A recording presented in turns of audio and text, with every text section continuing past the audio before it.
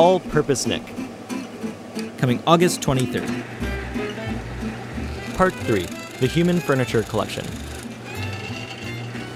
We are just not in tune with what it takes to make all the objects around us. Our commercial world is built around this false idea that we need more objects to be happy. But what does it really take to make all of these products? From the sketching phase to actually trying to sell something. I decided that for me to understand what it means to design, produce, and use products, I have to actually become a product.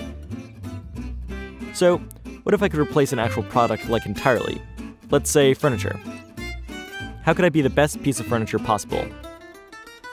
In total earnestness, I went to the drawing board and began the process of designing myself as furniture. I tested how much time each piece needed to last. I tested the weight each piece needed to hold. I decided that for each piece of furniture, I needed a certain strength in order for it to hold up. So, for the next two months, I trained to be the perfect furniture collection. Will I ever find the girl in my mind? The one who is my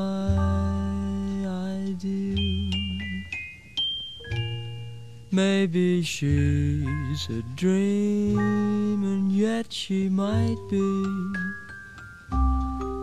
just around the corner waiting for me. Will I recognize the light in her eyes that no other eyes reveal?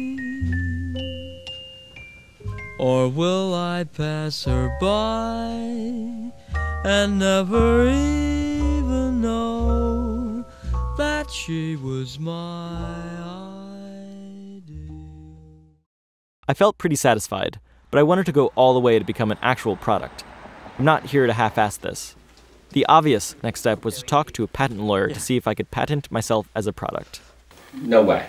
Yeah. you know, like Going back to you can't patent a new use for a known item. Well, your leg is no known item. So. well, and, and the other thing is the the likelihood that nobody has ever put themselves in that position is you know highly unlikely. So uh, especially if there are similar published positions that people have been practicing for years, uh, Yeah. you would have to be contorting yourself into a position that nobody had ever thought of, possibly in the last tens of thousands of years across a billion people, and that's highly unlikely.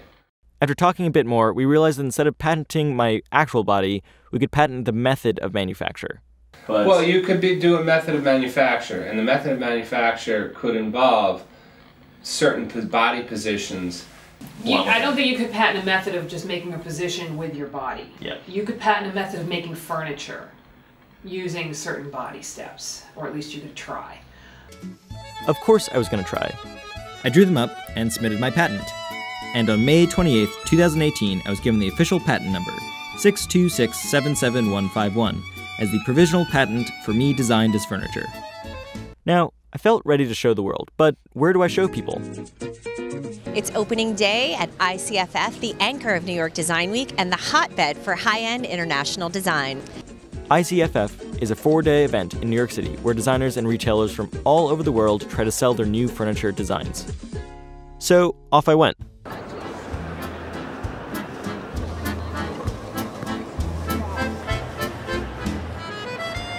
Armed with a cardboard cutout and a skin suit, I went to spread the word about my new furniture collection.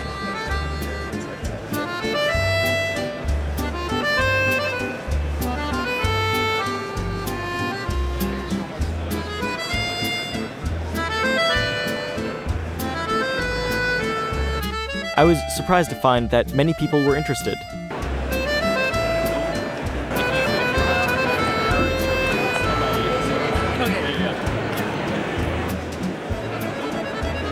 There are uh, six pieces in the whole collection. Um, you can rent me out um, that, that's always an option. Fully usable, fully functional. You can try some positions.